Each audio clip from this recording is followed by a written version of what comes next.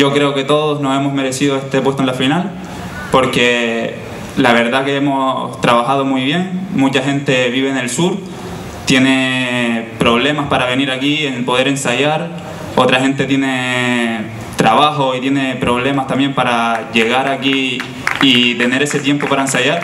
Así que yo creo que es de valorar ese, ese esfuerzo que hacen los compañeros y por eso deberían de estar en la final también con nosotros. Muchas gracias. ¿Qué te diferencia de Mister Playa del Inglés que te podría hacer ganar el certamen?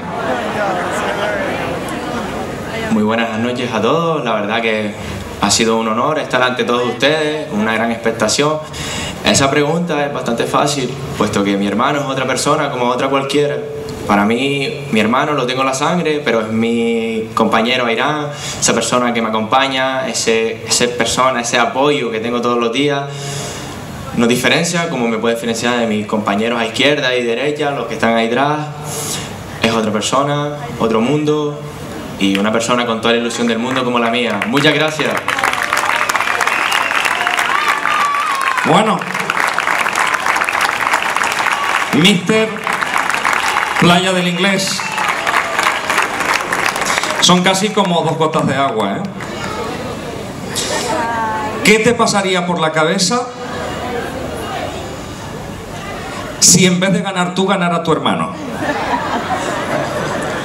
Pues nada, muy buenas noches ante todo. Pues solo quiero decirle que lo va a querer más todavía y estaré mucho más orgulloso de lo que estoy ahora de él por haber ganado este título tan importante para los dos, porque los dos compartimos la misma ilusión de llegar a ser finalistas de este certamen.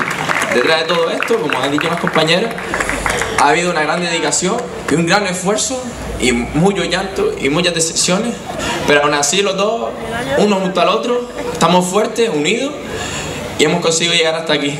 Muy buenas noches a todos. Bueno, ¿qué te hace diferente? ¿Cuáles son las cualidades? Eh, ¿Cómo te vendería esta noche sobre el nuevo representante provincial?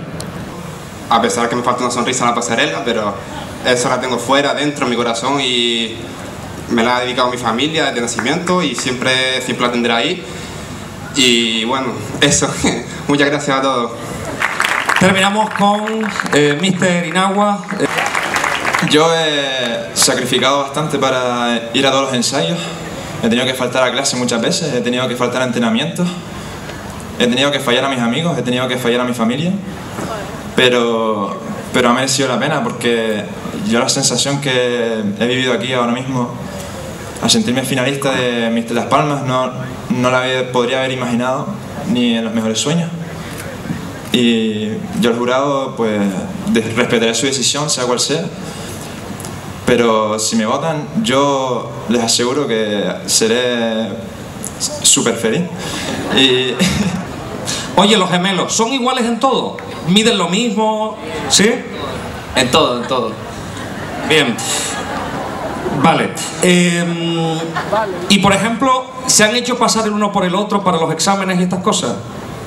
Pues la verdad es que no, porque somos unos niños muy rectos, pero que se nos ha pasado por la cabeza, eso sí.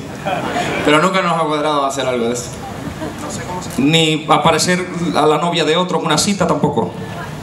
No, no, no, ni mucho menos. Pero lo que sí nos ha pasado es que nos confunde de espalda, nos confunde uno con otro, pero no mucho más. Bueno, no les hago más preguntas de momento.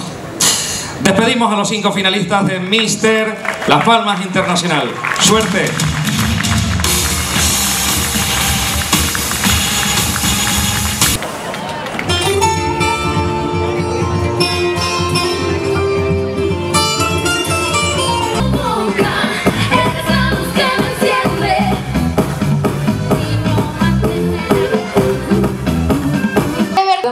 Anae Oficial, Anae en Instagram, en Facebook, en... El fotógrafo me está escuchando. Será un placer volver a estar en Gran Canaria, es un placer compartir esta noche con todos ustedes. Y yo no me quiero ir de aquí.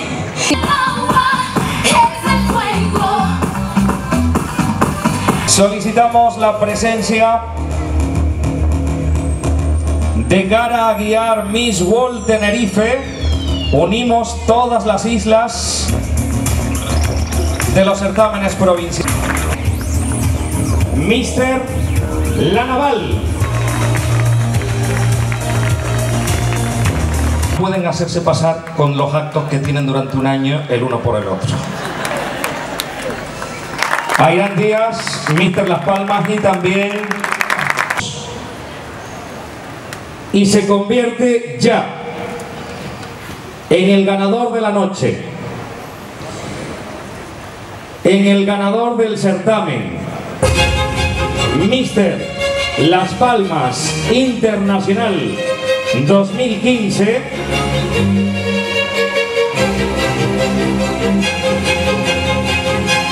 Mister Playa del Inglés.